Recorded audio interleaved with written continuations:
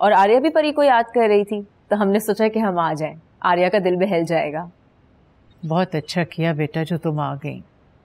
मुझे तो आर्या की बड़ी फ़िक्र रहती है और शावेज की भी।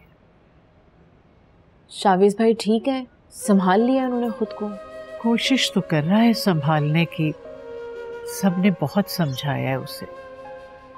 लेकिन बेटा दुख और गम को कम होते कुछ वक्त तो लगेगा।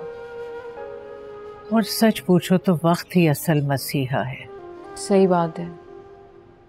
और एनी आप ही जब से गई हैं तब से सब कुछ बदल चुका है। बिल्कुल बेटा ठीक कह रही हो। कोशिश तो कर रहे हैं कि सब ठीक हो जाए। आर्या मेरे पास आओ। आप परी को याद कर रहे थे ना तो देखो मैं और परी आ गए। अब आप परी के साथ खूब सारे गेम्स खेलना और एंजॉय करना। आर्या आओ तुम्हारे कमरे में चल के वहाँ चल के खिलौनों से खेलते हैं। आओ।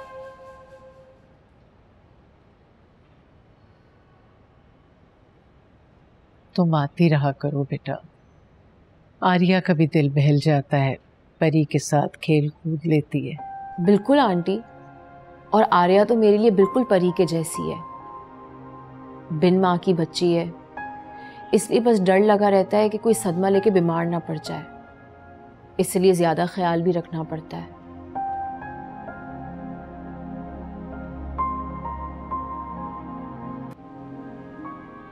मेरी उम्मा की तस्वीर है, मगर अब वो तस्वीर तस्वीर में ही नज़र आती हैं। आर्या, उदास मत हो आप। हाँ, मैं आपके घर आती रहूँगी। हम दोनों मिलके खूब खेलेंगे। मुझे भी निकाल की याद आती है बहुत। सब कहते हैं मेरी मम्मा किसी और दुनिया में चली गई जहाँ से लोग वापस ही नहीं आते। मेरे पापा भी उस दुनिया में चले गए। मामा की दूसरी शादी हो गई। हम दूसरे घर में आ गए। मैं और मामा भी पापा को याद करके बहुत रोते थे। मगर अब हम ठीक हो गए। हमारा दूसरा घर भी अच्छा है। क्या हो रहा है यहाँ? हम खेल रहे मामा। और आर्या अपनी मामा की तस्वीर देखती है। आर्या मैं तो आपकी मामा की बहन हूँ ना आपकी खाला। और मैं और परी तो आ ही इसलिए ताकि हम आपके साथ टाइम स्पेंड कर सकें ताकि आप उदास ना हो।